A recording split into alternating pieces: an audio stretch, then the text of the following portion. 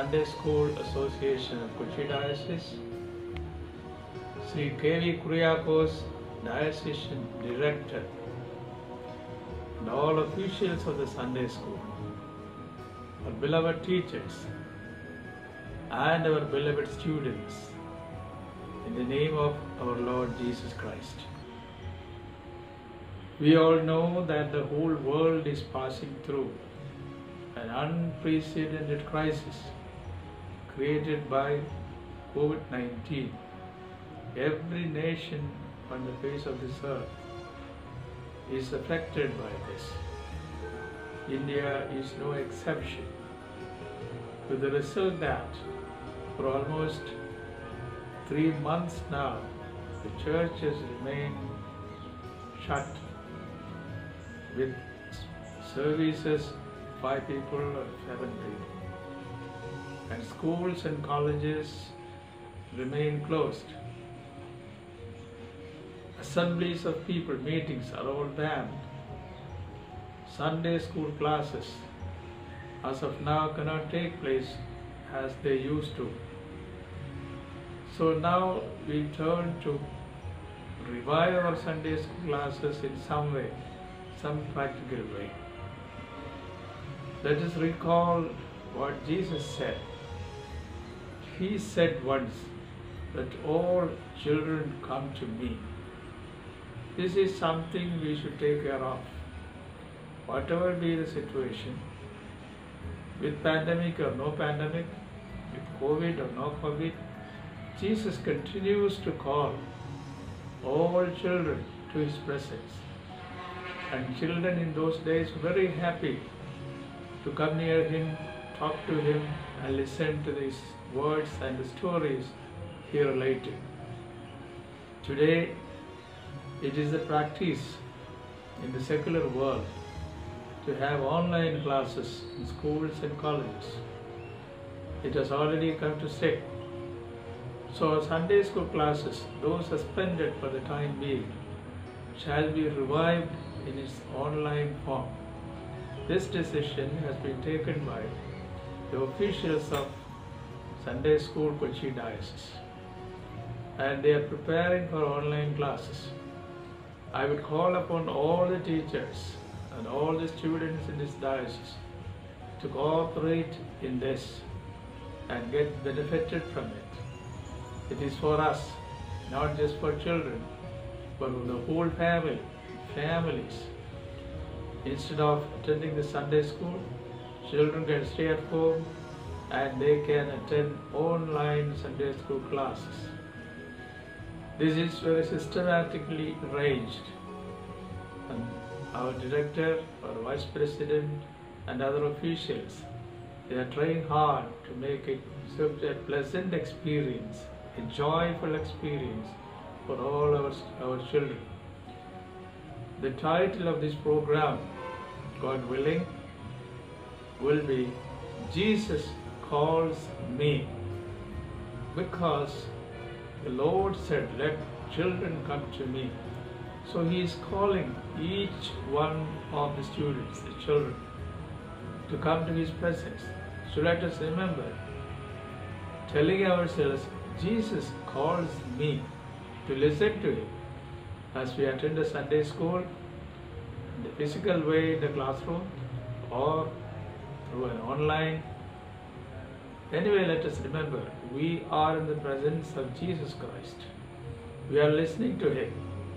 Let us wait for His smile and His words and the stories which He relates to all of us. Let us make this program a success. I would congratulate the officials of the Sunday school and all our teachers who spare no pains to see that the Sunday school activities are on. You cannot just suspend the Sunday school activities for long. We need it. Every child needs, needs it. As I said, it has to be a joyful experience both for the teachers and also for the students. Jesus calls me. Take it to heart. Jesus calls every one of you. So I commend all the teachers and all the students to the care of Jesus Christ, who is the Lord of our lives. May God bless you. Uh, try to benefit from the online classes. Further instructions will be given to you at the local level. May Lord bless you all.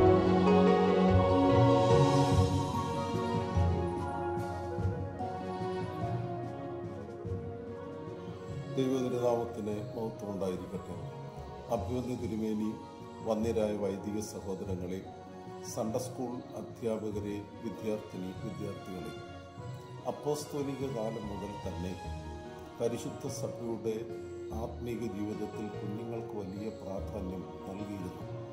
പെന്തിക്കുസ്തി പെരുന്നാളിന് ശേഷം പരിശുദ്ധനായ പത്രസ്നേഹം നൽകുന്ന പ്രബോധനത്തിൽ വാഗ്ദത്വം നിങ്ങൾക്കും നിങ്ങളുടെ കുഞ്ഞുങ്ങൾക്കും ദൈവമായ കർത്താവ് വിളിച്ചു വേർതിരിക്കുന്ന ഏവർക്കും ഉള്ളതാണെന്ന് പ്രത്യേകം പ്രസ്താവിക്കുന്നു.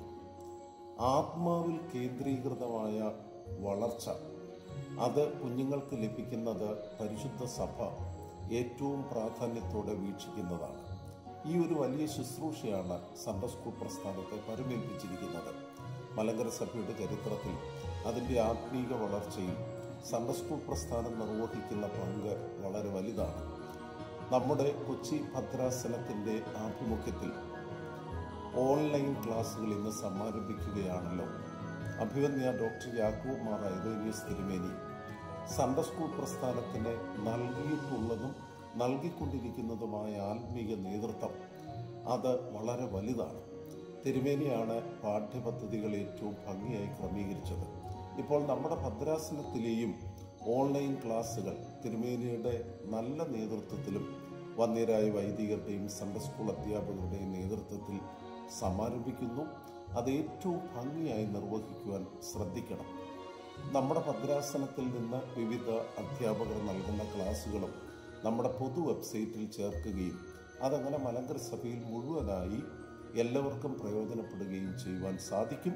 അതുപോലെ തന്നെ ഓരോ ഭദ്രാസനവും അതിലെ പ്രധാനപ്പെട്ട ചുമതലക്കാരെ ഉൾപ്പെടുത്തിക്കൊണ്ട് വാട്സപ്പ് ഗ്രൂപ്പുകളും ആ വാട്സപ്പ് ഗ്രൂപ്പുകൾ ഡിസ്ട്രിക്റ്റ് തലത്തിലും ഓരോ സൺഡേ സ്കൂളിലെ ബഹുമാനപ്പെട്ട വികാരിയും ഹെഡ് മാസ്റ്ററും അധ്യാപകരും ഒരുമിച്ച് ചേർന്നുള്ള വാട്സപ്പ് ഗ്രൂപ്പും ഓരോ ക്ലാസ്സിനും പ്രത്യേക വാട്സപ്പ് ഗ്രൂപ്പും ക്രമീകരിച്ചാണ് ആദ്യം മുതൽ ഈ സംരംഭം നിർവഹിച്ചുകൊണ്ടിരിക്കുന്നത്. വളരെ പ്രധാനപ്പെട്ട ഒരു കാര്യം അധ്യാപകരുടെ മാത്രം പരിശ്രമം കൊണ്ട് ഇത് വിജയിക്കത്തില്ല. ബഹുമാന്യരായ വികാരിമാരും അതുപോലെ തന്നെ ഓരോ ഭവനത്തിൽ നമ്മുടെ മാതാപിതാക്കളും ഈ കാര്യങ്ങൾ ശ്രദ്ധിക്കണം. അധ്യയന ശൈലി അതിന്റെ രീതിശാസ്ത്രം ഓരോ കാലഘട്ടത്തിലും മാറുകയാണ്. ഇപ്പോൾ സ്കൂളുകളിലും കോളേജുകളിലുമെല്ലാം പുതിയ സങ്കേതങ്ങളാണ് അധ്യയനത്തിനായി ഉപയോഗിക്കുന്നത്. ഡിജിറ്റൽ പ്ലാറ്റ്ഫോമിൽ ഒരു ഡിജിറ്റലൈസേഷൻ അധ്യയന മേഖലയിൽ വന്നെത്തിയിരിക്കുന്നു. അതുകൊണ്ട് സൺഡേ സ്കൂൾ പ്രസ്ഥാനവും ആ ഒരു മാർഗത്തിലേക്ക് നീങ്ങേണ്ടത് വളരെ അത്യാവശ്യമായി തീർന്നിരിക്കുകയാണ്.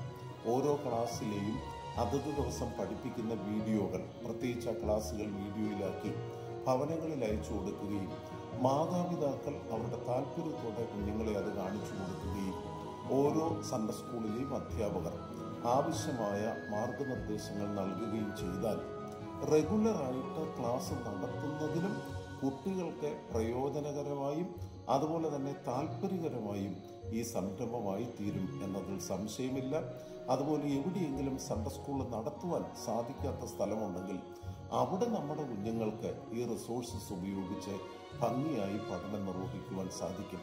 ലേണിംഗ് ആപ്പുകളും ഓൺലൈൻ ക്ലാസ്സുകളുമൊക്കെ വിദ്യാഭ്യാസ മേഖലയെ പൂർണമായും മൂടിക്കൊണ്ടിരിക്കുന്ന ഒരു സാഹചര്യം നമ്മുടെ സൺഡേ സ്കൂൾ പ്രസ്ഥാനവും അതനുസരിച്ച് നീങ്ങുന്നു അതിന് നേതൃത്വം നേതൃത്വം നൽകുന്ന അഭിമന്യ തിരുമേനിയോടുള്ള നന്ദി നിസ്സീമമാണ് ബഹുമാനപ്പെട്ട ബിജു അച്ഛനോടും അതുപോലെ തന്നെ എല്ലാ സഹപ്രവർത്തകരോടും നിങ്ങളോടുള്ള സ്നേഹവും നന്ദിയും അറിയിക്കുന്നു.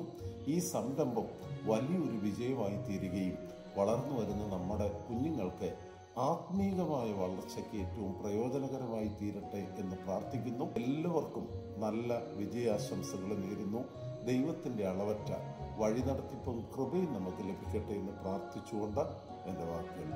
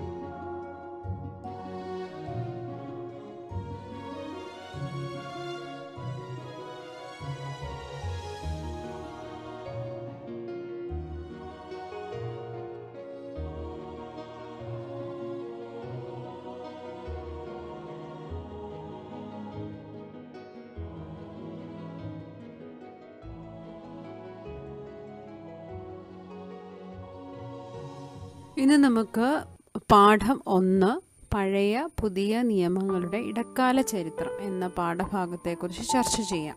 എനിക്ക് തോന്നുന്നത് നമ്മുടെ പത്താം ക്ലാസ്സിലെ രണ്ട് പുസ്തകങ്ങളിലും നോക്കുവാണെങ്കിൽ ഏറ്റവും ലെങ്തി ആയതും കുറച്ച് മനസ്സിലാക്കുവാൻ ബുദ്ധിമുട്ടുള്ളതുമായ ഒരു ചാപ്റ്ററാണിത് അതുകൊണ്ട് എനിക്കറിയാം എല്ലാവരും ഇതിന്റെ വീഡിയോ പ്രതീക്ഷിക്കുന്നുണ്ടെന്ന്. പാഠം തുടങ്ങുന്നതിന് മുൻപ് എ ഡി ബി സി എന്നീ കാലഘട്ടത്തെക്കുറിച്ച് നിങ്ങൾക്ക് നന്നായിട്ട് അറിയാമെന്ന് എനിക്കറിയാം. അത് ഞാൻ ഇവിടെ പിക്ചറായിട്ട് കൊടുത്തിട്ടുണ്ട്. എ ഡി എങ്ങനെയാണ് ബി സി എങ്ങനെയാണ് തിരിച്ചിരിക്കുന്നതെന്ന്. ഇതിൽ നമ്മളുടെ വിചാരം കറക്റ്റ് നടുക്ക്.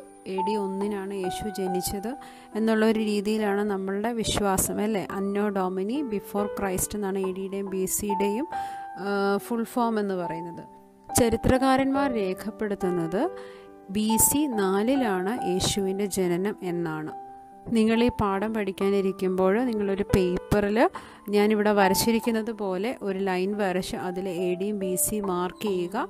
എന്നിട്ട് ബി സി നാലിൽ യേശുവിന്റെ ജനനം എന്ന് മാർക്ക് ചെയ്യുക. ഇനി പറയുന്ന ഓരോ കാര്യങ്ങളും അതിന്റെ ഇയർ പറയുമ്പോൾ നിങ്ങൾ ആ ലൈനിൽ മാർക്ക് ചെയ്യുവാണെങ്കിൽ നിങ്ങൾക്ക് കുറച്ചും കൂടെ ഇത് മനസ്സിലാക്കുവാൻ ഉപകരിക്കും. പഴയ നിയമ പുസ്തകങ്ങളിൽ ഏറ്റവും ഒടുവിൽ എഴുതപ്പെട്ട ഗ്രന്ഥങ്ങളാണ് ഹഗായി സക്കറിയാവ് എന്നീ പ്രവചന കൃതികളും അതുപോലെ ചരിത്ര പരാമർശമുള്ള എസ്ര നെഹമ്യ എന്നീ പുസ്തകങ്ങളും. ഈ നാല് പുസ്തകങ്ങളിലും പ്രവാസത്തിൽ നിന്നും മടങ്ങി വന്ന യഹൂദന്മാരുടെ വിശ്വാസ ജീവിതത്തെയാണ് വരച്ചു കാണിക്കുന്നത്. പ്രവാസ ജീവിതത്തെക്കുറിച്ചൊക്കെ നിങ്ങൾ കഴിഞ്ഞ ക്ലാസ്സിൽ പഠിച്ചതാണ്. അത് നമുക്ക് പുറകെ വരാം. ഇതിലുള്ള വിവരണങ്ങൾ ബി സി നാനൂറാം ആണ്ട് വരെയുള്ള വിവരണങ്ങളാണ് ഇതിൽ ഉൾപ്പെടുത്തിയിരിക്കുന്നത്. കുറേ കാലം കഴിഞ്ഞ് ക്രിസ്തുവിന് മുൻപ് രണ്ടാം നൂറ്റാണ്ടിൽ എഴുതപ്പെട്ട ദാനിയലിന്റെ പുസ്തകം ചരിത്രത്തെക്കുറിച്ച് വ്യക്തമായ ഒരു അറിവുകൾ നൽകുന്ന ഒന്നല്ല. പുതിയ നിയമത്തിലെ ആദ്യ പുസ്തകം എ ഡി നാൽപ്പത്തി ഒൻപതിലാണ് എഴുതപ്പെടുന്നത് പിന്നീട് ക്രിസ്തുവിന്റെ ജീവിതത്തെ വിവരിക്കുന്ന സുവിശേഷങ്ങളൊക്കെയും എ ഡി അറുപത്തി അഞ്ചിന് ശേഷവും. ഇതിനിടയിലുള്ള കാലം അതായത് ബി സി നാനൂറ് മുതൽ എ ഡി ഒരു ഏകദേശം അറുപത് വരെയുള്ള യഹൂദ ചരിത്രം. നമ്മുടെ വേദപുസ്തകത്തിൽ ലഭ്യമല്ല. ഇവ ലഭ്യമായിട്ടുള്ളത് അപ്പോക്രിഫ പുസ്തകങ്ങളിലാണ്. നമ്മുടെ ഓർത്തഡോക്സ് സഭയുടെ അംഗീകൃത വേദപുസ്തകമായ ഷീത്തോ പുസ്തകത്തിൽ ഇവ ലഭ്യമാണ്. ഷീത്തോ പുസ്തകത്തെക്കുറിച്ചും അപ്പോക്രിഫ പുസ്തകങ്ങൾ അല്ലെങ്കിൽ ഉത്തരകാനോനിക കൃതികളെക്കുറിച്ചും ഒക്കെ വേദപുസ്തക കാനോൻ എന്ന പാഠത്തിൽ നിങ്ങൾ പഠിക്കും. അതിന്റെ വീഡിയോ ഞാൻ ഇട്ടിട്ടുണ്ട് അത് കേട്ട് പഠിക്കുക. ഇനി പ്രവാസ കാലഘട്ടത്തെക്കുറിച്ചൊന്ന് റിവൈസ് ചെയ്യുവാണെങ്കിൽ നമുക്കറിയാം ദാവീദിന് ശേഷം ദാവീദിന്റെ പുത്രനായ ശലോമോൻ രാജാവായി. ശലോമോന്റെ കാലത്തിന് ശേഷം രഹബയാം അദ്ദേഹത്തിന്റെ മകൻ രഹബയാമാണ് രാജാവായത്. രഹബയാമിന്റെ കാലത്താണ് ഇസ്രയേൽ രണ്ടായിട്ട് വിഭജിക്കപ്പെട്ടത്. തെക്കേ ഇസ്രയേൽ എന്നും വടക്കേ ഇസ്രയേൽ എന്നുമായിരുന്നു ആ വിഭജനം. തെക്കേ ഇസ്രയേൽ യഹൂദി എന്നും അറിയപ്പെട്ടു. പിന്നീട് ബാബിലോൺ സൈന്യം യഹൂദ്യ കീഴടക്കി അവിടെയുള്ള യഹൂദരെ എല്ലാം അവർ ബാബിലോണിയ പ്രദേശത്തേക്ക് അടിമകളായി പിടിച്ചുകൊണ്ടുപോയി. ഈ കാലഘട്ടമാണ് ഇവരുടെ പ്രവാസ കാലഘട്ടം എന്ന് പറയുന്നത്. ഇത് ഏകദേശം എഴുപത് വർഷക്കാലം നീണ്ടു നിന്നു. ഇത് ഇവർ കീഴടക്കിയത് ബാബിലോൺ സൈന്യം യഹൂദി കീഴടക്കിയത് ഏതാണ്ട് ബി സി അഞ്ഞൂറ്റി എൺപത്തി എട്ടിനും എൺപത്തി ആറിനും ഇടയ്ക്കായിട്ടാണെന്നാണ് രേഖപ്പെടുത്തിയിരിക്കുന്നത്. ഈ സമയം അവർ യെറുഷലേം നഗരവും ദേവാലയവും എല്ലാം കൊള്ള ചെയ്തു മതിലുകൾ ഇടിച്ച് തകർത്തു പട്ടണം തീവച്ചു അങ്ങനെയാണ് പിന്നീടാണ് ഇവരെ യഹൂദന്മാരെ അടിമകളാക്കി അങ്ങോട്ടേക്ക് കൊണ്ടുപോകുന്നത്. പ്രവാസത്തിലായ യഹൂദർക്ക് സമ്മിശ്ര പ്രതികരണമായിരുന്നു ഉണ്ടായിരുന്നത്. അതായത് ചിലരൊക്കെ സ്വന്തം മിക്കവരും സ്വന്തം ഭവനത്തെക്കുറിച്ചും തങ്ങളുടെ ദേവാലയത്തെക്കുറിച്ചുമൊക്കെ വിലപിച്ച് കാലം കഴിച്ചു. ആരാധനയ്ക്ക് സൗകര്യമില്ലാതിരുന്ന സമയമായതുകൊണ്ട് യാഗരീതികൾക്കൊക്കെ മാറ്റമുണ്ടായി. സിനഗോഗ് ആരാധന രൂപപ്പെട്ടു. പിന്നെ ചിലരാകട്ടെ ബാബിലോണിലെ ജീവിതത്തോട് പൂർണമായിട്ട് ഇഴുകിച്ചേർന്നു. അവരിൽ മിക്കവരും യഹോവ ആരാധനയും ഒക്കെ ഉപേക്ഷിച്ചു. പിന്നീട് ഈ ബാബിലോണിന്റെ പ്രതാപം അസ്തമിക്കുകയും പേർഷ്യൻ സാമ്രാജ്യശക്തി പ്രബലപ്പെട്ടു വരികയും ചെയ്തു. അങ്ങനെ ബി സി അഞ്ഞൂറ്റി മുപ്പത്തി എട്ടിൽ പേർഷ്യൻ രാജാവായ കോരശ് ഒരു വിളംബരം വഴി യഹൂദന്മാരെ ഏറുഷലേമിലേക്ക് മടങ്ങിപ്പോകുവാൻ അനുവദിച്ചു. കോരശിന്റെ കൽപ്പന പ്രകാരം യഹൂദ ഗോത്രക്കാരനായ സെരുബാബേൽ സരുബാബേലിന്റെ നേതൃത്വത്തിലാണ് പ്രവാസികൾ മടങ്ങിപ്പോകുവാൻ ആരംഭിച്ചത്. അതുപോലെ തന്നെ തകർക്കപ്പെട്ട ഇറുഷലയും ദേവാലയം പുനർനിർമ്മിക്കുന്നതിനാവശ്യമായ വസ്തുക്കൾ ദാനമായി സ്വീകരിക്കുവാനും കോരശ് കൽപ്പന നൽകി. അങ്ങനെ വിവിധ ഘട്ടങ്ങളിലായി എസ്ര നെഹമ്യാവ എന്നിവരുടെ നേതൃത്വത്തിലും മഹാപുരോഹിതനായ യോശുവ സെരുബാബേൽ എന്നിവരുടെ നേതൃത്വത്തിലുമായിട്ട് ദേവാലയം പുനഃസ്ഥാപിച്ച് പ്രതിഷ്ഠിച്ചതായിട്ട് ഹഗായി സെക്കരിയാവ് എന്നീ പ്രവചന പുസ്തകത്തിൽ നിന്നും എസ്ര നെഹമ്യാവ് എന്നീ പുസ്തകങ്ങളിൽ നിന്നും നമുക്ക് മനസ്സിലാക്കാവുന്നതാണ്. ഇങ്ങനെ ഈ ദേവാലയം പുനഃസ്ഥാപിക്കപ്പെട്ട ഈ ദേവാലയത്തെ എറുഷലേമിലെ രണ്ടാം ദേവാലയം എന്നാണ് വിളിക്കുന്നത്. ഇത് ബി സി അഞ്ഞൂറ്റി പതിനഞ്ചിൽ ദാര്യാവേഷ് രാജാവിന്റെ വാഴ്ചയുടെ ആറാം ആണ്ടിൽ ആധാർ മാസം മൂന്നാം തീയതിയാണ് ഈ ദേവാലയത്തിന്റെ പണി തീർത്തത്. ഇവിടെ ഓർക്കേണ്ടത് രണ്ടാം ദേവാലയത്തിന് അനുമതി നൽകിയത് പാസി രാജാവായ കോരശും ഈ ദേവാലയത്തിന്റെ പണി പൂർത്തിയാക്കിയത് ദാര്യാവേഷ് രാജാവിന്റെ കാലത്തുമാണെന്നത് മറന്നു പോകരുത് പുരാതന പശ്ചിമേഷ്യയിൽ ഇസ്രയേലിനെ തുടർന്ന് വൻ ശക്തികളായി വന്ന വംശങ്ങളൊക്കെ ഏതൊക്കെയാണെന്ന് ചോദിച്ചാൽ അവ അശൂർ ബാബിലോൺ മേദ്യർ പാർസികൾ യവനന്മാർ റോമക്കാർ എന്നിവരാണ്. നമ്മളിപ്പോൾ പാർസികളെ കുറിച്ചും പറഞ്ഞു അല്ലേ? പ്രവാസികൾക്ക് യെറുഷലേമിലേക്ക് മടങ്ങുവാൻ ഇടവരുത്തിയത് പാസി രാജാക്കന്മാരുടെ കാലത്താണെന്ന് നമ്മളിപ്പോൾ കണ്ടു. തുടർന്നുള്ള കാലഘട്ടത്തെക്കുറിച്ച് നമുക്ക് അറിവ് നൽകുന്നത് മക്കാബിയറുടെ പുസ്തകത്തിൽ നിന്നും അതുപോലെ ജോസീഫസ് അലക്സാന്ദ്രിയിലെ ഫിലോ എന്നിവരുടെ എഴുത്തുകളിൽ നിന്നുമാണ്. മക്കാബിയറുടെ പുസ്തകം ഒരു അപ്പോക്രിഫൽ പുസ്തകമാണ്. മക്കാബിയറുടെ പുസ്തകം ചില ബൈബിളിൽ മക്കബായരുടെ പുസ്തകം എന്നാണ് കാണപ്പെടുന്നത്. ഇതിൽ പറഞ്ഞ ജോസിഫസും അലക്സാന്ദ്രിയയിലെ ഫിലോയും എ ഡി ഒന്നാം നൂറ്റാണ്ടിൽ ജീവിച്ചിരുന്നവരാണ്.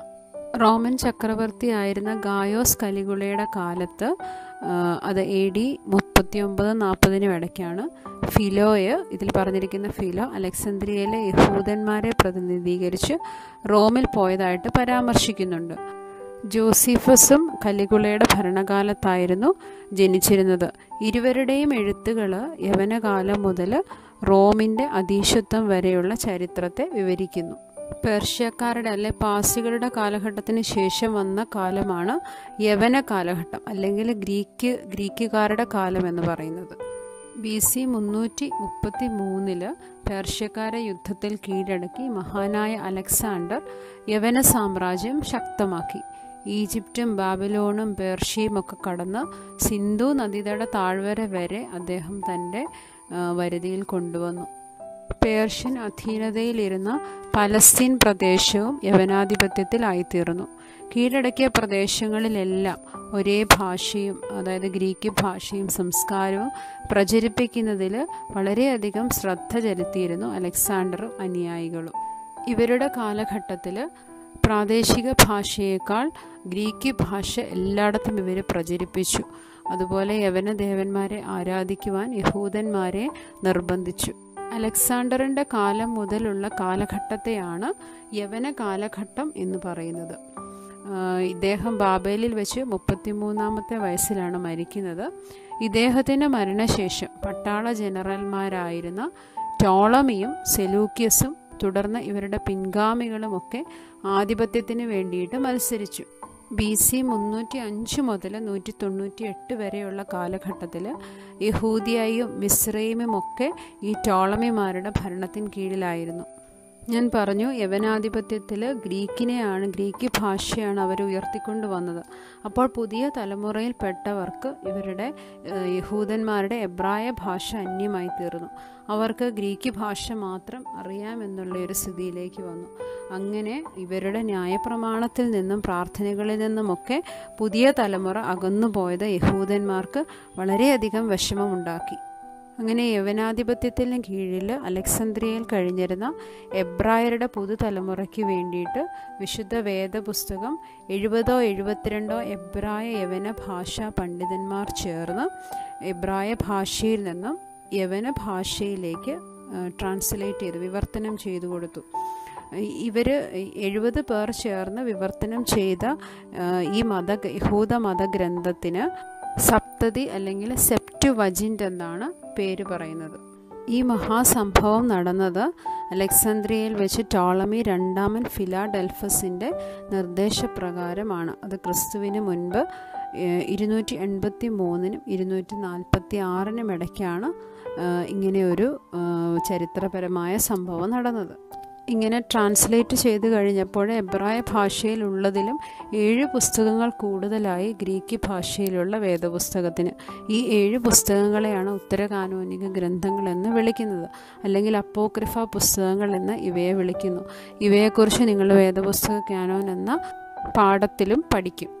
ടോളമിമാരുടെ ഭരണത്തിന് ശേഷം ഭരണം ഏറ്റെടുത്തത് സെലൂക്യസ് വംശമാണ് ഞാൻ നേരത്തെ പറഞ്ഞു അലക്സാണ്ടറിന്റെ കാലത്തിന് ശേഷം പട്ടാള ജനറൽമാരായിരുന്ന ടോളമിയും സെലൂക്യസും ഒക്കെ ആധിപത്യത്തിന് വേണ്ടി മത്സരിച്ച കാര്യം. അലക്സാണ്ടറിന്റെ കാലശേഷം വടക്ക് ദേശങ്ങളായ മെസ്സപ്പെട്ടോമിയയും സിറിയയും ഒക്കെ സെലൂക്യസിന്റെ കീഴിലായിരുന്നു.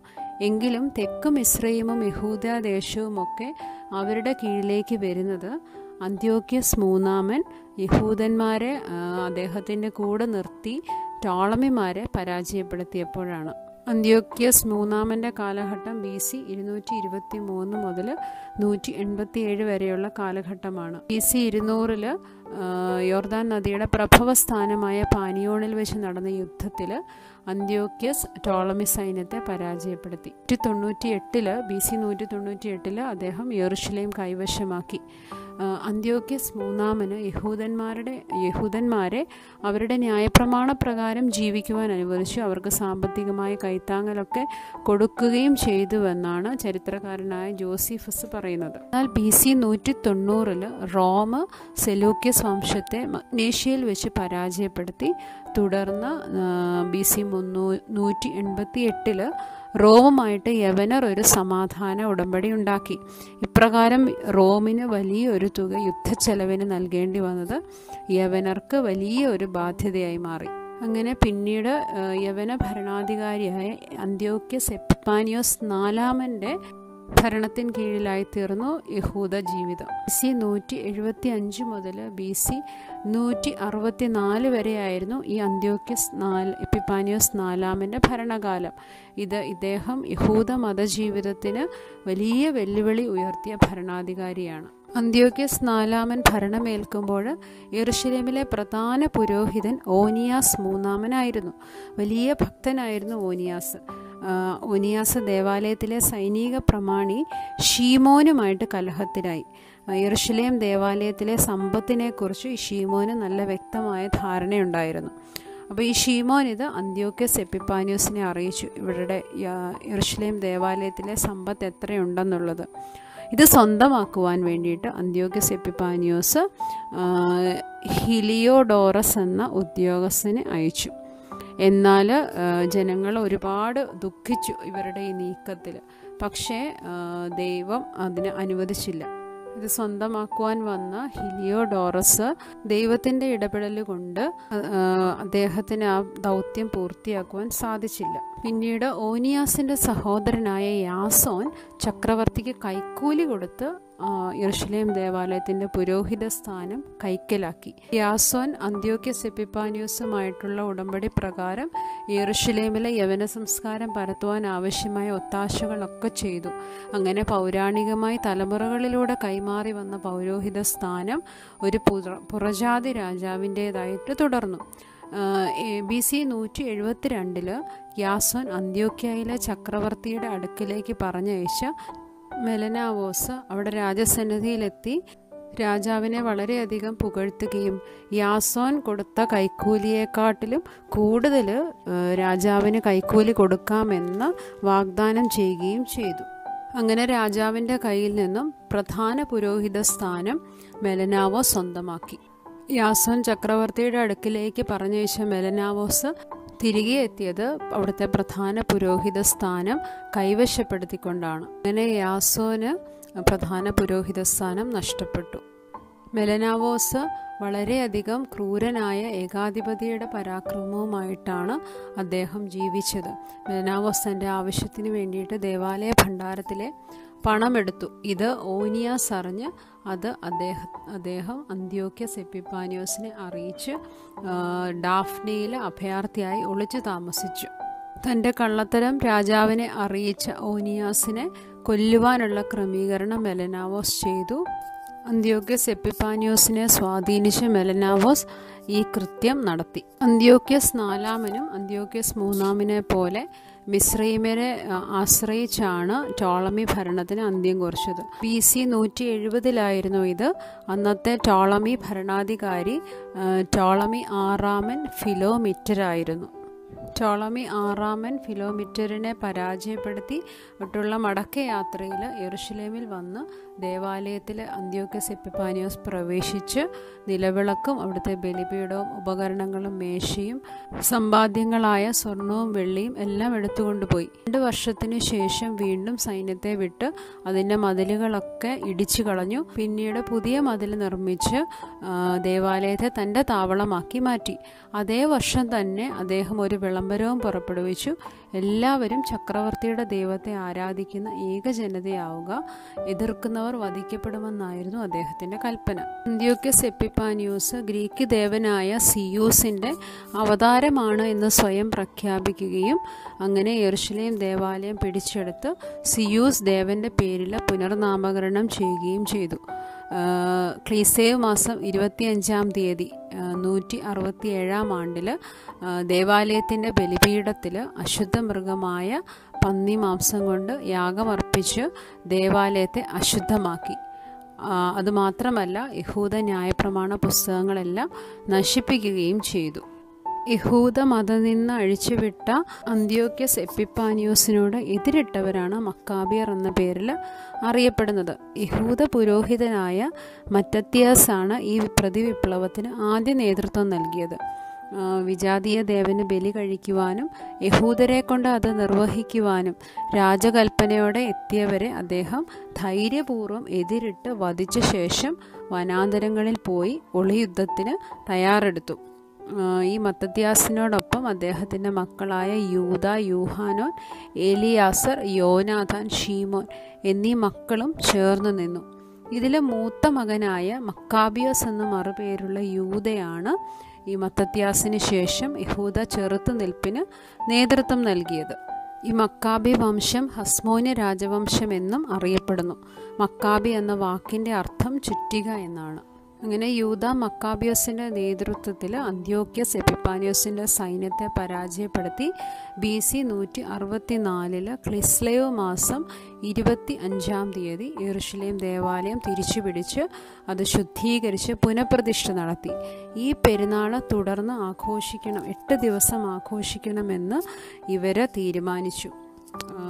ഈ ദിവസത്തെ പ്രകാശത്തിന്റെ ഉത്സവമായിട്ട് ആചരിക്കണമെന്നാണ് ഇവർ തീരുമാനിച്ചത്. ഈ പ്രതിഷ്ഠാ പെരുന്നാളിന്റെ പേരാണ് ഹനൂക്ക എന്ന പേരിൽ അറിയപ്പെടുന്നത്. യുദാ മക്കാബിയസിനെ തുടർന്ന് ബി സി അറുപത്തിമൂന്ന് വരെയുള്ള കാലഘട്ടത്തിൽ പ്രധാന ശക്തികളായ സെലൂക്യസ് വംശവും പിന്നീട് വന്ന റോമ ചക്രവർത്തിമാരുടെയും ഒക്കെ ഭീഷണിക്ക് മുന്നിൽ ആണ് ഈ ഹസ്മൂന്യ രാജവംശം യെറുഷലേമിൽ നിലനിന്നത്. യൂത മക്കാബിയോസിന്റെ സഹോദരൻ ഷീമോന്റെ കാലത്ത് അത് ബി സി നൂറ്റി നാൽപ്പത്തി രണ്ട് മുതൽ നൂറ്റി മുപ്പത്തി നാല് വരെയുള്ള കാലഘട്ടത്തിൽ പുറജാതികളുടെ ഭരണം ഇസ്രയേലിൽ നിന്ന് നീങ്ങിപ്പോയി.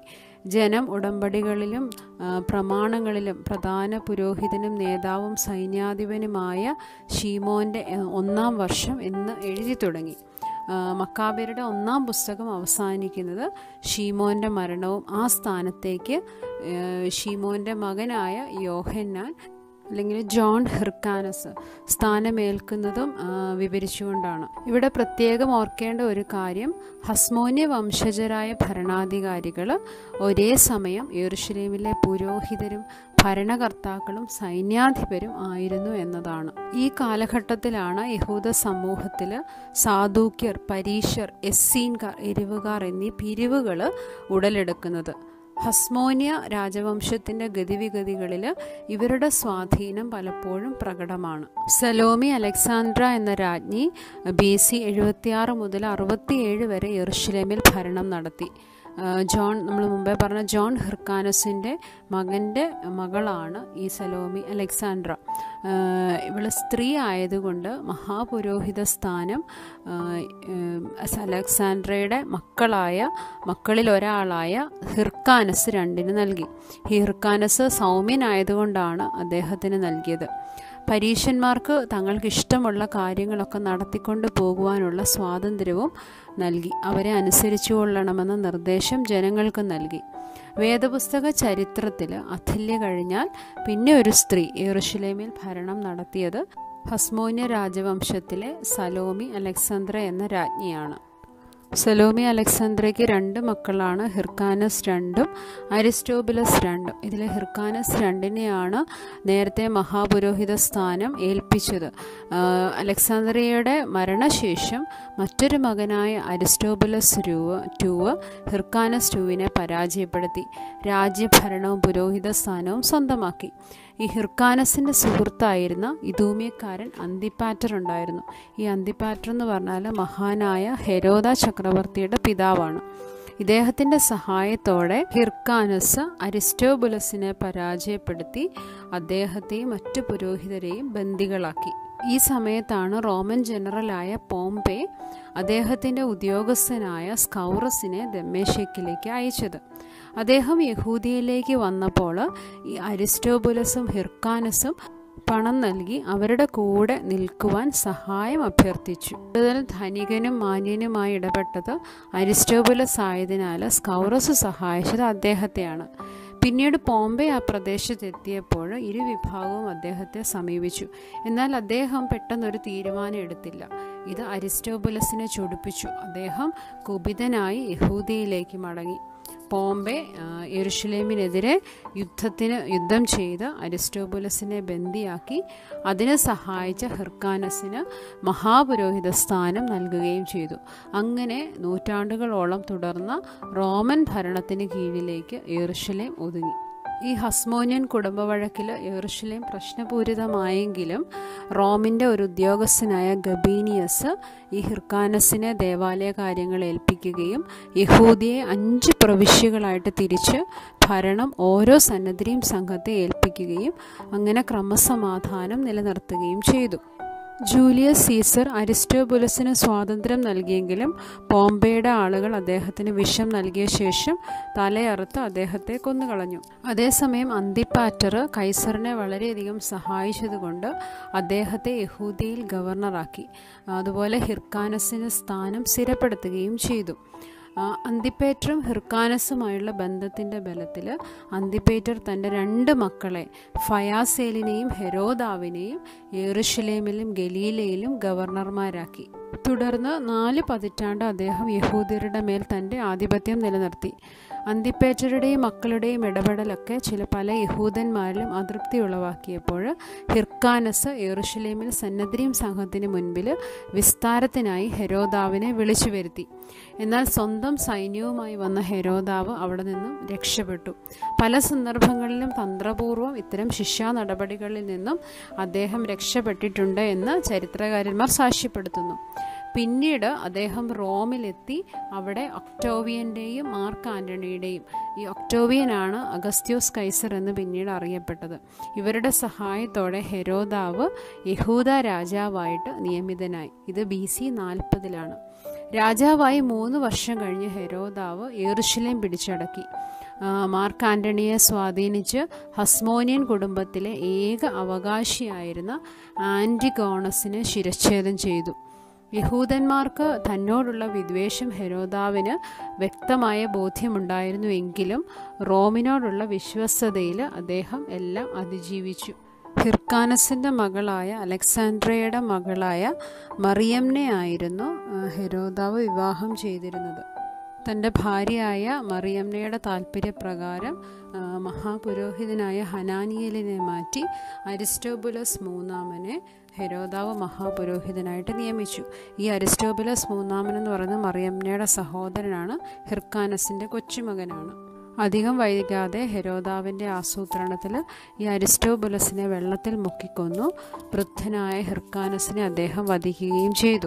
ബി സി ഇരുപത്തി ഒൻപതിൽ തന്റെ സ്വന്തം ഭാര്യയായ മറിയമ്നത്തെയും ബി സി ഇരുപത്തി എട്ടിൽ അമ്മായിയമ്മയായ അലക്സന്ദ്രയെയും അദ്ദേഹം ഇല്ലാതെയാക്കി. അങ്ങനെ ഹസ്മോനിയ രാജവംശം നാമാവശേഷമായി. ഹെരോദാവിന്റെ ഏറ്റവും വലിയ സംഭാവനയായി പറയപ്പെടുന്നത് യെറുഷലേം ദേവാലയത്തിന്റെ പുനർനിർമ്മാണമാണ്. ബി സി ഇരുപതിൽ തുടങ്ങിയ പണി ഹെരോദാവിന്റെ മരണശേഷവും തുടർന്നു. ആൽബിനസ് യഹൂദിയയിൽ പ്രൊക്യുറേറ്റർ ആയിരിക്കുമ്പോഴാണ് ദേവാലയത്തിന്റെ പണി പൂർത്തിയായത്. ഇത് എ ഡി അറുപത്തിരണ്ടിനും അറുപത്തിനാലിനും ഇടയ്ക്കാണ്.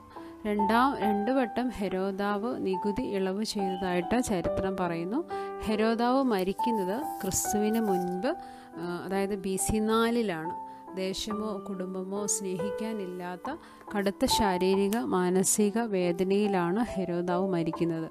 ഹെരോദാവിന് ശേഷം മക്കളായ അർക്കലയോസ് അന്തിപ്പാസ് ഫിലിപ്പ് എന്നിവർക്കായിട്ട് രാജ്യം വിഭജിക്കപ്പെട്ടു. എന്നാൽ ഇവർ തമ്മിലും അധികാര തർക്കം ഉടലെടുത്തത് അഗസ്ത്യോസ് കൈസറിന്റെ മുന്നിലെത്തി. ഹെരോദാവിന്റെ താല്പര്യമനുസരിച്ച് അർക്കലയാസോവിനാണ് അംഗീകാരം ലഭിച്ചത്. എന്നാൽ അദ്ദേഹത്തിന്റെ ഭരണകാലം അധികം നീണ്ടു നിന്നില്ല. നിഷ്ഠൂരനായ ഇദ്ദേഹത്തിനെതിരെ യെറുഷലേമിൽ നിന്നും പ്രഭുക്കന്മാരുടെ പരാതി റോമിലെത്തിയതിനാൽ ഭരണത്തിൽ നിന്നും അദ്ദേഹത്തെ നീക്കി. തുടർന്ന് യെറുഷലേം റോമിന്റെ നേരിട്ടുള്ള ഭരണത്തിൻ കീഴിലായി. കൈസർമാർ യഹൂദരല്ലാത്ത ഗവർണർമാരെ നിയമിച്ച് ഭരണം തുടർന്നു.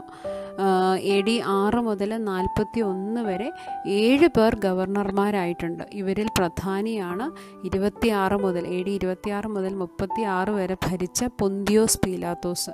നമ്മുടെ കർത്താവായ യേശുക്രിസ്തുവിന്റെ മനുഷ്യാവതാരവും പ്രവർത്തനവും മരണവും എല്ലാം ഈ ഹെരോദാവിന്റെ ഭരണത്തിന്റെ അന്ത്യകാലം മുതൽ പീലാത്തോസ് ഗവർണറുടെ കാലം വരെയാണെന്നുള്ള കാര്യം നാം ഓർക്കേണ്ടതാണ്. ഹെരോദാവ് തുടങ്ങി വെച്ച യെറുഷലേം ദേവാലയത്തിന്റെ പണി പൂർത്തിയായെങ്കിലും എ ഡി എഴുപതിൽ യെറുഷലേം ദേവാലയം റോമാക്കാർ തകർത്ത് തകർത്ത് തരിപ്പണമാക്കി. കല്ലിന്മേൽ കല്ല് ശേഷിക്കുകയില്ല എന്നുള്ള കത്തൃവചനം അങ്ങനെ നിവൃത്തിയായി. ഇത്രയുമാണ് ഈ പാഠത്തിൽ നിങ്ങൾക്ക് പഠിക്കാനുള്ളത്. താങ്ക്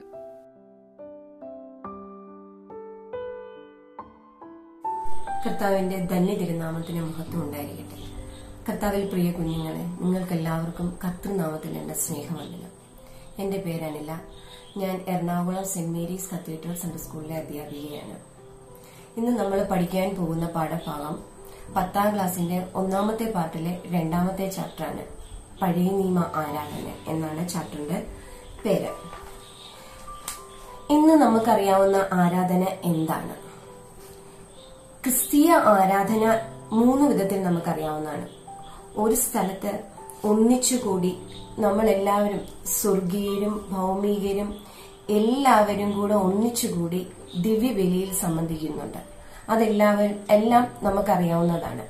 എല്ലാ ഞായറാഴ്ചകളിലും നമ്മൾ പള്ളിയിൽ പോകുന്നതും നമ്മൾ സംബന്ധിക്കുന്ന ആരാധനയാണ് വിശുദ്ധ കുർബാന. പിന്നെ നമുക്കറിയാവുന്ന ആരാധന എന്ന് പറയുന്നത് നമ്മുടെ കുടുംബത്തിൽ കുടുംബമ്മ ഒത്തുചേർന്നിരുന്ന് പ്രാർത്ഥിക്കുന്നത് ഒരാരാധനയാണ്. പിന്നെ നമ്മളും ദൈവവും തനിയിരുന്ന് ദൈവത്തോട് നമ്മൾ സംസാരിക്കുന്ന ഒരു ആരാധനയുണ്ട് അതും ഒരാരാധനയാണ്. ഇത് മൂന്നും കൂടെ ഒത്തുചേർന്നെങ്കിൽ മാത്രമേ ക്രിസ്തീയ ആരാധന പൂർണമാവുകയുള്ളൂ. ഇനി നമുക്ക് എങ്ങനെയാണ് പഴയ നിയമ ആരാധന എന്ന് നമുക്ക് നോക്കാം. പഴയ നിയമ ആരാധനയുടെ ആരംഭം ഏതൻ തോട്ടത്തിൽ ആദാമിന്റെ ഹവയുടെ ഒപ്പം ദൈവം സഞ്ചരിച്ച് അവർക്ക് ആത്മീയമായ സന്തോഷം നൽകിയ ആത്മീയതയുടെ അടിസ്ഥാനം ആണ്. ഇതാണ് ആത്മീയയുടെ അടിസ്ഥാനമായിട്ട് നമ്മൾ കാണുന്നത്. പിന്നീട് പല ഘട്ടങ്ങളിൽ കൂടി ആരാധന ഇങ്ങനെ കടന്നുപോയി. മൃഗബലിയായി യാഗങ്ങളായി ഒക്കെ കടന്നുപോയി. അങ്ങനെ പഴയ നിയമകാലത്ത് മൃഗബലിയായും യാഗങ്ങളായും ആരാധന പല ഘട്ടങ്ങളിലായി കടന്നുപോയി. നീതിയുടെ രാജാവായ മൽക്കി സദേക്ക് അപ്പ വീഞ്ഞെടുത്ത് ദൈവത്തെ ആരാധന നടത്തി. പഴയ നിയമത്തിലെ വ്യത്യസ്തമായ ഒരു ആരാധനയായിരുന്നു മൽക്കി സദേക്കിന്റെ ആരാധന. അബ്രഹാം പിതാവ് പിജുല വൃക്ഷം നട്ട് നിത്യദീപമായ യഹോവയിൽ ആരാധന നടത്തി എന്ന് ഉൽപ്പത്തി പുസ്തകം ഇരുപത്തൊന്നാം അധ്യായത്തിൽ നാം വായിക്കുന്നുണ്ട്. യാക്കോബ് ദൈവദൂതന്മാരുമായി മൽപ്പിടുത്തം നടത്തിയ സ്ഥലത്തെ കല്ല് നാട്ടി യാക്കോബ് ആരാധന നടത്തിയതായിട്ടും നമ്മൾ ബൈബിളിൽ വായിക്കുന്നുണ്ട്. പിന്നീട് സമാഗമന കൂടാരത്തെ കുറിച്ചാണ് മോശയുടെ കാലഘട്ടം വന്നപ്പം സമാഗമന കൂടാരത്തിൽ ആരാധന കഴിക്കുന്നതായിട്ട് നമ്മൾ പുറപ്പാട് പുസ്തകം വായിക്കുന്നുണ്ട്. പിന്നീട് ശലോമോൻ ആ സമാഗമന കൂടാരം എറുഷലേം പള്ളിയായി സ്ഥാപിച്ചത് വരെ നമ്മൾ കാണുന്നുണ്ട്. പിന്നെ ശ്രേഷ്ഠ പ്രവാചകനായ ഏലിയാവ് പന്ത്രണ്ട് കല്ലുകൾ അടക്കി വെച്ച് പന്ത്രണ്ട് ഗോത്രങ്ങളെ അനുസ്മരിച്ച് ആരാ- ആരാധന നടത്തിയതായിട്ടും നമ്മൾ കാണുന്നുണ്ട്. ദൈവവുമായി ബന്ധപ്പെട്ട് ദൈവവുമായി സംഭാഷണം നടത്തിയ ഏതൻ തോട്ടത്തിലെ ഒരു അനുഭവം പഴയ നിയമ ആരാധനയുടെ ഒരു പ്രത്യേകതയാണ്. അവിടെ കായനും ഹാവയിലും ദൈവത്തിന് യാഗം കഴിച്ചു എന്നുള്ളത് നമ്മൾ ഉൽപ്പത്തി പുസ്തകത്തിൽ വായിക്കുന്നുണ്ട്. നോഹയുടെ പെട്ടകവും നോഹയുടെ പെട്ടകത്തിനകത്തെ ജീവിതവും ഒരു ആരാധനയായിട്ട് നമുക്ക് മനസ്സിലാക്കാം. ചുരുക്കത്തിൽ ഈ ആരാധനകളെല്ലാം മനുഷ്യബന്ധങ്ങളെ ശക്തീകരിക്കുന്ന ഒരു മാനം ഉണ്ടായിരുന്നു. നിരപ്പിന്റെയും ഒത്തുചേരലിന്റെയും അനുഭവം ആരാധനയിൽ ഉണ്ടായിരുന്നു. പൂർണമായ സമർപ്പണത്തിന്റെ വിശുദ്ധ അനുഭവത്തിന്റെയും അനുഭവം ഈ ആരാധനയിലെല്ലാം ഉണ്ടായിരുന്നു. യഹോവയെ നാഥനായി സ്വീകരിച്ച് യഹോവയ്ക്ക് ഇഷ്ടമായത് പ്രവർത്തിക്കുകയാണ് ആരാധനയുടെ അടിസ്ഥാനം. ഒരു ദാസൻ യജമാനനെ പരിചരിക്കുന്ന പോലെ യഹോവയുടെ സന്നിധിയിലെത്തി അവനെ ആദരവോടെ അവന്റെ സന്നിധിയിൽ സാഷ്ടാംഗ പ്രമാണം ചെയ്യുക. ആകാശവും ഭൂമിയും സൃഷ്ടിച്ച ഏക ദൈവത്തെയായിരുന്നു യഹൂദന്മാർ ആരാധിച്ചിരുന്നത്. നാമം ആരാധിക്കുന്നത് ഈ സത്യ ദൈവത്തെയാണ് കാലത്തികവിൽ ആ ദൈവം യേശു ക്രിസ്തുവായി മനുഷ്യരൂപം സ്വീകരിച്ചു വന്നു. പരിശുദ്ധാത്മാവിനെ നമ്മെ ഇപ്പോഴും നയിച്ചുകൊണ്ടിരിക്കുന്നു. അതുകൊണ്ട് തന്നെ നമ്മുടെ ആരാധന പഴയ നിയമ ആരാധനയുടെ ഒരു തുടർച്ച തന്നെയാണ്. നമ്മുടെ ആരാധനയുടെ ആഴവും അർത്ഥവും മനസ്സിലാക്കുവാൻ പഴയ നിയമ ആരാധനയെക്കുറിച്ചുള്ള അറിവ് വളരെ സഹായിക്കും. ഇസ്രായേലിലെ പുണ്യപിതാക്കന്മാർ വേദപുസ്തകത്തെ ഇന്ന് കാണുന്ന രീതിയിൽ ക്രോഡീകരിച്ചത് തന്നെ ഇത് ആരാധനയിൽ ഉപയോഗിക്കാൻ വേണ്ടിയാണ്. ഉദാഹരണമായി പറയുകയാണെന്നുവരിൽ ഉത്തമ ഗീതം പെസഹ പെരുന്നാളിന് യഹൂദന്മാർ ഉപയോഗിച്ചിരുന്ന വേദ ഭാഗമാണ്. എസ്തേർ പുരീം പെരുന്നാളിന് യഹൂദന്മാര് ഉപയോഗിച്ചിരുന്ന വേദഭാഗമാണ്. അതുപോലെ സങ്കീർത്തനങ്ങൾ. സങ്കീർത്തനങ്ങൾ പലതും ആരാധന സമയത്ത് ഉപകരണങ്ങളുടെ സഹായത്തോടു കൂടി പാടുന്ന പാട്ടുകളായിരുന്നു. ഇതെല്ലാം യഹൂദന്മാരുടെ ആരാധനയിൽ ഉൾപ്പെട്ടവയായിരുന്നു. ഈ പഴയ നിയമ ആരാധനയെ കുറിച്ച് നമുക്ക് ചില കാര്യങ്ങളൊക്കെ വ്യക്തമായിട്ടുണ്ട്. അതിൽ നിന്ന് ഒരു ചെറിയ ക്വസ്റ്റ്യൻ നിങ്ങളോട് ഞാൻ ചോദിക്കുകയാണ്. നമ്മുടെ ആരാധനയും പഴയ നിയമ ആരാധനയും എങ്ങനെ ബന്ധപ്പെട്ടിരിക്കുന്നു? അടുത്തതായി പിതാക്കന്മാരുടെ കാലത്തുള്ള പഴയ നിയമ ആരാധനയെ കുറിച്ച് നമുക്ക് നോക്കാം. അബ്രഹാം ഇസ്ഹാക്ക് യാക്കോബ് എന്നീ പിതാക്കന്മാരുടെ കാലത്ത് പുരോഹിതന്മാർ ഉണ്ടായിരുന്നതായി ഉൽപ്പത്തി പുസ്തകത്തിൽ കാണുന്നില്ല. അവർ തന്നെ യാഗം അർപ്പിച്ചതായാണ് പരാമർശിച്ചിരിക്കുന്നത്. സൃഷ്ടിയുടെ കഥയിൽ ഏതെങ്കിലും ഒരു സ്ഥലമല്ല പ്രസ്തുത സമയമാണ് ആരാധനയ്ക്കായി വേർതിരിച്ചിരുന്നത് ഒരുവിന് ദൈവാനുഭവം ഉണ്ടാകുന്ന ഇടം ഏതോ അത് ആരാധനയ്ക്കുള്ള സ്ഥലവും ആ വ്യക്തി തന്നെ പുരോഹിതനുമായി ആകുന്നതായാണ് നാം കാണുന്നത്. ബദേൽ ഗിൽഗാൽ പെനിയേൽ എന്നീ സ്ഥലങ്ങളിലെ പൂജാഗിരികൾ ഉൽപ്പത്തി പുസ്തകത്തിൽ പരാമർശിച്ചിട്ടുണ്ട്. പിന്നീട് മോശയുടെ കാലത്താണ് യഹൂദരുടെ ആരാധനയുടെ പ്രധാന പാരമ്പര്യം ആരംഭിക്കുന്നത്. ആ കാലത്ത് ആരാധനയ്ക്ക് ചില ഘടകങ്ങൾ ഉണ്ടായിരുന്നു. ഒന്നാമതായി യഹോവയുടെ സന്നിധാനം പവിത്രമാണ്. അത് സാധാരണ സ്ഥലമല്ല. അവിടേക്ക് കടക്കുന്നവർ ചെരുപ്പ് ഊരിയിടണം. രണ്ടാമതായി യഹോവയുടെ ആരാധനയ്ക്ക് ബലിയും സദ്യയും ആവശ്യമാണ്. മൂന്നാമതായി യഹോവ ചെയ്ത നല്ല കാര്യങ്ങൾക്ക് വേണ്ടിയുള്ള കൃതജ്ഞതാ നിർഭരമായ സ്തോത്രാർപ്പണം സ്തോത്രാർപ്പണവും വിശ്വാസ പ്രഖ്യാപനവും വേണം. നാലാമതായി യഹോവയുടെ കൽപ്പനകൾ പഠിക്കാമെന്നും അവയെ അനുസരിക്കാമെന്നുമുള്ള ഉടമ്പടി വേണം. അഞ്ചാമതായി ആരാധനയിൽ ദൈവസന്നിധിയിൽ അടുത്തു വരുവാനും ജനത്തെ പ്രതിനിധീകരിക്കാനുമുള്ള ഒരു പുരോഹിത ഗണം വേണം. അക്കാലത്ത് ലേവ്യ ഗണമായിരുന്നു പുരോഹിതർ ആയിരുന്നത്. നിങ്ങൾക്ക് നാൽപ്പത് വർഷക്കാലം മോശ മരുഭൂമിയിൽ കൂടി ഇസ്രായേൽ മക്കളെ നയിച്ചുകൊണ്ട് വന്ന കഥ നിങ്ങൾക്കറിയാമല്ലോ. അതുമായിട്ട് ബന്ധപ്പെട്ട കാര്യങ്ങളാണ് ഇനി പറയാൻ പോകുന്നത്. ഇസ്രായേൽ മക്കളെ മിശ്രീമിൽ നിന്ന് വിടുവിച്ചുകൊണ്ട് വരുന്ന സമയത്ത് ദൈവം മോശ വഴിയായി കൽപ്പിക്കുന്നതാണ് ഒരു ആരാധന കേന്ദ്രം നിർമ്മിക്കണമെന്ന്. അങ്ങനെയാണ് സമാഗമന കൂടാരം നിർമ്മിക്കുന്നത്. ദൈവം മോശയ്ക്ക് സമാഗമന കൂടാരം നിർമ്മിക്കുവാനുള്ള എല്ലാ നിർദ്ദേശങ്ങളും നൽകി. അതിന്റെ വീതി നീളം ഉയരം തുടങ്ങിയവ എല്ലാത്തരം നിർദ്ദേശങ്ങളും മോശയ്ക്ക് ദൈവം കൊടുത്തു. ഇത് ലേവി പുസ്തകത്തിൽ വിവരിച്ചു പറഞ്ഞിട്ടുണ്ട്. തിരുനിവാസം നിയമപ്പെട്ടകം സമാഗമന കൂടാരം എന്നിവ നിർമ്മിച്ചു. തിരുനിവാസം എന്ന് പറയുന്നത് ദൈവം ഇറങ്ങി വന്ന് വസിക്കുന്ന ചെറിയ ആലയമാണ്. കൽപ്പലകളും നിയമപുസ്തകങ്ങളും വെക്കുന്ന പെട്ടി ആയിരുന്നു നിയമപ്പെട്ടകം സമാഗമന കൂടാരം എന്ന് പറഞ്ഞാൽ ദൈവവും മനുഷ്യനും തമ്മിൽ സമ്മേളിക്കുന്ന സ്ഥലമാണെന്നർത്ഥം അതിവിശുദ്ധ സ്ഥലമായി കരുത് കരുതിയ ഇവയുടെ നിർമ്മാണത്തെക്കുറിച്ച് പുറപ്പാട് പുസ്തകത്തിൽ പറയുന്നു. മരുഭൂമിയിൽ ഇസ്രായേൽ മക്കൾ നിർമ്മിച്ച ദൈവസാന്നിധ്യമുള്ള ആലയമാണ് സമാഗമന കൂടാരം. മരുഭൂമിയിൽ പാളയം അടിക്കുമ്പോൾ കൂടാരം നിവർത്തുകയും യാത്രയിൽ ലേവ്യർ ചുമന്നുകൊണ്ട് പോവുകയും ചെയ്തിരുന്നു. വിവിധ യാഗങ്ങളും അവ അർപ്പിക്കേണ്ട രീതികളുമെല്ലാം ലേവ്യ പുസ്തകത്തിൽ വിവരിച്ചിരിക്കുന്നു. പ്രധാന യാഗങ്ങൾ ഹോമയാഗം ഭോജനയാഗം സമാധാനയാഗം പാപയാഗം അകത്യയാഗം എന്നിവയാണ്. ആരാധനയിൽ മുഖ്യസ്ഥാനം ലേവർക്കായതിനാൽ ലേവിരിയെ ശുശ്രൂഷയ്ക്കായി നിയമിക്കണം. പ്രയാണം ചെയ്യുന്ന ജനം കൂടാരം അടിക്കുമ്പോൾ ആ കൂടാരങ്ങളുടെ മധ്യേ സമാഗമന കൂടാരം സ്ഥാപിക്കണം. മേഘവും മേഘമായും അഗ്നിയായും വെളിപ്പെടുന്ന ദൈവം ജനമധ്യേ കൂടാരത്തിൽ വസിക്കും. ഷിഷ്കീന എന്ന പദം ദൈവം ജനമധ്യേ കൂടാരം അടിക്കുന്നതിനെ സൂചിപ്പിക്കുന്നു. അതൊരു എബ്രായ വാക്കാണ് ഷിക്കീന.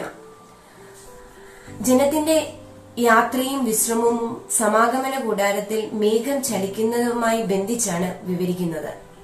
സമാഗമന കൂടാരം ആരാധന കേന്ദ്രമായതോടെ പിതാക്കന്മാർക്ക് ദൈവസംസർഗം സാധ്യമായ ബദേൽ ഗിൽഗാൽ പെനിയൽ എന്നിവയ്ക്കുള്ള പ്രാധാന്യം ഇല്ലാതെയായി തീരുമായിരുന്നു പിന്നീട് മോശിയുടെ കാലശേഷം യോശുവയുടെ നേതൃത്വത്തിലാണ് മിസ്രൈ ഇസ്രയേൽ മക്കൾ കനാൻ ദേശത്തേക്ക് ചെല്ലുന്നത്. ജനം കാനാവിൽ കാനാവിൽ സ്ഥിരതാമസമാക്കിയപ്പോൾ സമാഗമന കൂടാരത്തിലെ സാക്ഷിയും പെട്ടകം ഷീലോവിൽ സ്ഥാപിച്ചു. അങ്ങനെ ഷീലോവ് അവർക്കൊരു ആരാധന കേന്ദ്രമായിട്ട് മാറുകയാണ്. ഇവിടെയും ഒരു സ്ഥലത്തിന് പ്രാധാന്യമില്ല ദൈവ സാന്നിധ്യം ദൈവ സാന്നിധ്യത്തിന്റെ പ്രതീകമായ സാക്ഷ്യം വട്ടം ഇരി- ഇരിക്കുന്നിടം ആരാധന കേന്ദ്രമായിട്ട് അങ്ങനെ മാറുകയാണ്. ഇപ്പം പിതാക്കന്മാരുടെ കാലത്തെ ആരാധന നമുക്ക് ഏകദേശം മനസ്സിലായിട്ടുണ്ട്. അതിൽ നിന്നും ഒരു ക്വസ്റ്റ്യൻ ഞാൻ നിങ്ങളോട് ചോദിക്കാം. എങ്ങനെ ശീലോവ് ആരാധന കേന്ദ്രമായി മാറി? അടുത്തതായി പഴയ നിയമത്തിലെ രാജഭരണകാലത്തെ ആരാധനയെക്കുറിച്ചാണ് നമ്മൾ പഠിക്കാൻ പോകുന്നത്. മോശയ്ക്കും യോശുവയ്ക്കും ശേഷം ഇസ്രായേൽ ജനങ്ങൾക്ക് നേതൃത്വം കൊടുത്തത് ന്യായാധിപന്മാരായിരുന്നു. എത്ര ന്യായാധിപന്മാരായിരുന്നു? ജനങ്ങളെ നയിച്ചിരുന്നത് നിങ്ങൾക്കറിയാമോ? പതിനഞ്ച് ന്യായാധിപന്മാരുണ്ടായിരുന്നു.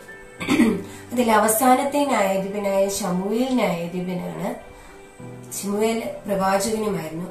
ശമുവേലാണ് അടുത്ത രാജാവായ ശൗലിനെ അഭിഷേകം ചെയ്യുന്നത്. ശമുവേൽ പ്രവാചകൻ ശൗലിനെ മാത്രമല്ല രണ്ടാമത്തെ രാജാവായ ദാവിദിനെയും അഭിഷേകം ചെയ്യുന്നു.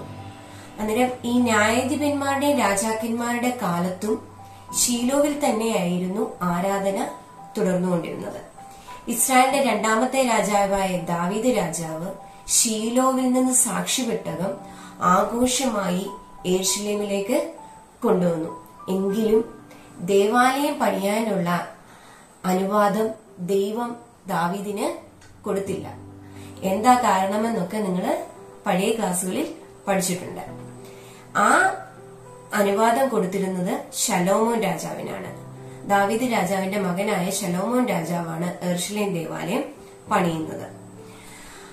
ഈ എർഷലേം ദേവാലയം ഷലോമോൻ പണിതിട്ട് സാക്ഷ്യം പെട്ടകം അവിടെ സ്ഥിരമായി സ്ഥാപിച്ചു.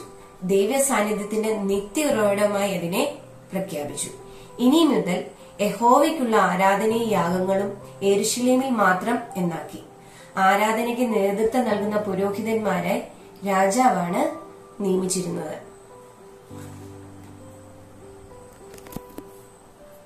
ലേവി പൗരോഹിത്യം എന്ന രീതി മാറി. പിന്നെ രാജാവായ ദാവീദായിരുന്നു പിന്നെ പുരോഹിതന്മാരെ നിയമിച്ചിരിക്കുന്നു സാധോക്ക് പുരോഹിതൻ ലേവിനായിരുന്നില്ല ആ പുരോഹിതനെ നിയമിച്ചത് ദാവിദ് രാജാവാണ്. രാജാവിനെ പുരോഹിതനോ പ്രവാചകനോ അഭിഷേകം ചെയ്യും. രാജാവിനെ പുരോഹിതനോ പ്രവാചകനോ അഭിഷേകം ചെയ്യാം. പക്ഷേ പുരോഹിതനെ തെരഞ്ഞെടുക്കാനുള്ള അവകാശം രാജാവിന് മാത്രമായിരുന്നു. എരിശ്ലേം ദൈവത്തിന്റെ പട്ടണമായി മാറി. ആരാധന ഈ ദേവാലയത്തിൽ മാത്രം കേന്ദ്രീകരിക്കുകയും ചെയ്തു. ഇസ്രായേൽ രാജ്യം തെക്കും വടക്കും രണ്ടായി വിഭജിക്കപ്പെട്ടപ്പോൾ വടക്ക് രാജ്യത്തിന്റെ നിലനിൽപ്പിന് ഈ എരുഷലേം കേന്ദ്രീകൃത ആരാധന വെല്ലുവിളിയായിട്ട് മാറി. അവർക്ക് പെട്ടെന്ന് എരുഷലേം ദേവാലയത്തിൽ വരാനുള്ള സാഹചര്യം ഇല്ലായിരുന്നു. ആണ്ടിൽ ഒരിക്കലെങ്കിലും എരുഷലേം ദേവാലയത്തിൽ യഹൂദ യഹൂദ മതത്തിൽപ്പെട്ട അംഗങ്ങൾ പങ്കെടുക്കണമെന്ന് നിർബന്ധമായിരുന്നു. അതുകൊണ്ട് ശമരി കേന്ദ്രമായ വടക്കേ രാജാവിനോടുള്ള വിധേയത്വത്തിൽ നിന്ന് ജനം പിന്മാറുമോ എന്ന ശങ്ക പഴയ ചില പൂജാഗിരികളുടെ അതായത് ബേദേൽ ഗിൽഗ എന്നിവയുടെ പുനരുദ്ധാരത്വത്തിന് വഴിയൊരുക്കി. അക്കാലത്ത് ആരാധനയുടെ ക്രമീകരണം സമയത്തിന്റെ വിശുദ്ധീകരണത്തിൽ നിന്ന് സ്ഥലത്തിന്റെ വിശുദ്ധീകരണത്തിലേക്കൊരു മാറ്റമായിരുന്നു. ഇനി നമ്മൾ ഇസ്രായേൽ മക്കളുടെ ബാബേൽ പ്രവാസ കാലത്ത് അവർ അവിടെ പുതിയ ആരാധന നടത്തി. ആ ആരാധനയെ കുറിച്ചാണ് നമ്മൾ ഇനി പഠിക്കാൻ പോകുന്നത്. ബി സി അഞ്ഞൂറ്റി എൺപത്തി ഏഴിൽ ഇസ്രായേൽ ബാബേൽ പ്രവാസത്തിലേക്ക് പോയി. എർഷലേം ദേവാലയ ആ സമയത്ത് പൂർണമായിട്ടും നശിപ്പിക്കപ്പെട്ടു. അപ്പം അവിടെ യാഗങ്ങളില്ലാതെ ആയി. ആ സമയത്ത് അവരുടെ ആരാധനയ്ക്ക് വ്യത്യാസം വന്നു. പുതിയ ആരാധന രീതി പ്രവാസകാലത്ത് നിലവിൽ വന്നു. അതാണ് സുനഗോഗ് ആരാധന ആ സുനഗോഗ് ആരാധന കർത്താവിന്റെ കാലത്തും ഉണ്ടായിരുന്നു. ഇനി എന്താണ് സുനഗോഗ് ആരാധന എന്ന് നമുക്ക് നോക്കാം. അവിടെ ജനം യാഗം അർപ്പിച്ചില്ല ഇത്രയും നാളും എറുഷലേം ദേവാലയത്തിൽ യാഗം അർപ്പിച്ചുള്ള ആരാധനയായിരുന്നു. ഈ സുനഗോഗ് ആരാധന വന്നപ്പം യാഗം അർപ്പിക്കുന്ന രീതി അവിടെ നിന്നു. എന്നാൽ മോശയുടെ ന്യായപ്രമാണം വായിക്കും അതിന്റെ അർത്ഥം വ്യാഖ്യാനിക്കും സങ്കീർത്തനങ്ങൾ പാടും ദൈവത്തെ സ്തുതിക്കുന്ന പ്രാർത്ഥനകൾ ചൊല്ലും അങ്ങനെ പുതിയ ആരാധന അവിടെ ഉടലെടുത്തു. ഇവിടെ പുരോഹിതന്മാരുടെ ആവശ്യം ഉണ്ടായിരുന്നില്ല. അതിനായി മൂപ്പനെയോ പള്ളി പ്രമാണി എന്ന സ്ഥാനപ്പേരുള്ള ഒരാൾക്കായിരുന്നു സുരഗോവിന്റെ ചുമതല വന്നിരുന്നത്. യഹൂദർ വീട്ടിൽ ഭക്ഷണത്തിനിരിക്കുമ്പോൾ ദൈവത്തെ സ്തുതിച്ചിട്ടേ ഭക്ഷണം കഴിക്കുകയുണ്ടായിരുന്നുള്ളൂ. ഇത് പിന്നീട് പിൻകാലത്ത് ക്രിസ്ത്യാനികളിലും പിന്തുടർന്നു. ക്രിസ്തു തന്നെ വ്യക്തിപരമായ പ്രാർത്ഥന പരിശീലിപ്പിക്കുകയും ചെയ്തു. അതുകൊണ്ട് ആദിമ ക്രിസ്ത്യാനികളിൽ രഹസ്യ പ്രാർത്ഥനയുടെ അഭ്യാസം സുപ്രധാനമായിരുന്നു. അഹറോനി ആശീർവാദം എന്നറിയപ്പെടുന്ന ആശീർവാദം അതായത് പുരോഹിതന്മാരുടെ സാന്നിധ്യം ഉണ്ടെങ്കിൽ മാത്രം സുനഗോഗിൽ ഈ ആശീർവാദം ഉണ്ടായിരുന്നു. ഇതാണ് സുനഗോഗ് ആരാധനയുടെ ഉള്ളടക്കം. നിങ്ങൾക്ക് ഇതിൽ നിന്ന് പഴയ നിയമ ആരാധനയും പുതിയതായി വന്ന സുനഗോഗ് ആരാധനയെ കുറിച്ചും ഏകദേശ രൂപം കിട്ടിക്കാണുമെന്ന് കരുതുന്നു. അന്നേരം അടുത്തതായിട്ട് ഈ ഒരു ഭാഗത്തിൽ നിന്ന് ഒരു ചോദ്യം ചോദിക്കുകയാണ്. സുനഗോഗ് ആരാധന ദൈവാലയ ആരാധനയിൽ നിന്ന് എങ്ങനെ വ്യത്യസ്തമായിരിക്കുന്നു? അടുത്തതായി നമുക്ക് പ്രവാസാനന്തര കാലഘട്ടത്തെ ആരാധനയെക്കുറിച്ച് പഠിക്കാം. ബി സി അഞ്ഞൂറ്റി മുപ്പത്തി എട്ടിൽ പാഴ്സി രാജാവായ കോരശിന്റെ വിളംബര പ്രകാരം ഇസ്രായേൽ ജനം പ്രവാസത്തിൽ നിന്നും മടങ്ങി വന്ന് എർഷലേം ദേവാലയവും പട്ടണമതിലും പുനർനിർമ്മിക്കുകയും ദേവാലയ ആരാധനയും യാഗങ്ങളും പുനഃസ്ഥാപിക്കുകയും ചെയ്തു. എന്നാൽ സുനഗോഗ് ആരാധനയും തുടർന്നു. കർത്താവിന്റെ മനുഷ്യാവതാര വ്യാപാര കാലത്ത് രണ്ട് തരത്തിലുള്ള ആരാധനയും അതായത് യാഗാർപ്പത സ്വഭാവമുള്ള ആരാധനയും അതായത് ദേവാലയ ആരാധന പഠന മനന കേന്ദ്രീകൃതമായ സുനഗോഗ് ആരാധനയും നിലവിൽ ഉണ്ടായിരുന്നു.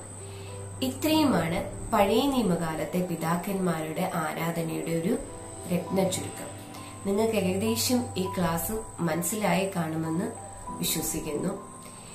ഇനിയും നമ്മൾ മനസ്സിലാക്കേണ്ടത് ആരാധന എന്നാൽ മനുഷ്യ ഹൃദയത്തിന്റെ അഗാധതയിൽ നിന്നും ഓരോരുവനുമായിരിക്കുന്ന അവസ്ഥയെ പ്രതി ദൈവത്തോടുണ്ടാകുന്ന പ്രതികരണമാണ് എന്നാണ്. പഴയ നിയമ ആരാധന അക്കാലത്തെ മനുഷ്യ ജീവിതത്തിന്റെ സാംസ്കാരികവും ചരിത്രപരവുമായ സാഹചര്യങ്ങൾ സാങ്കിത്യമുണ്ടാകും വിധം ചലനാത്മകവും അതേസമയം അടിസ്ഥാന വിശ്വാസത്തിൽ നിന്നും വ്യതിചലിക്കാത്തതും ആയിരുന്നു. ഇനി നമ്മൾ പഠിച്ച ഭാഗത്തിൽ നിന്നുള്ള ചില ചോദ്യങ്ങളും ഉത്തരങ്ങളും കണ്ട് ഈ പാഠം നമുക്ക് അവസാനിപ്പിക്കാം. ഈ മഹാമാരിയുടെ കാലത്ത് എല്ലാ കുഞ്ഞുങ്ങൾക്കും ഒരു സുരക്ഷിത കാലം ദൈവനാമത്തിൽ ആശംസിച്ചുകൊണ്ട് നിർത്തട്ടെ. എല്ലാവരെയും പ്രാർത്ഥനയിൽ പരസ്പരം ഓർക്കുക.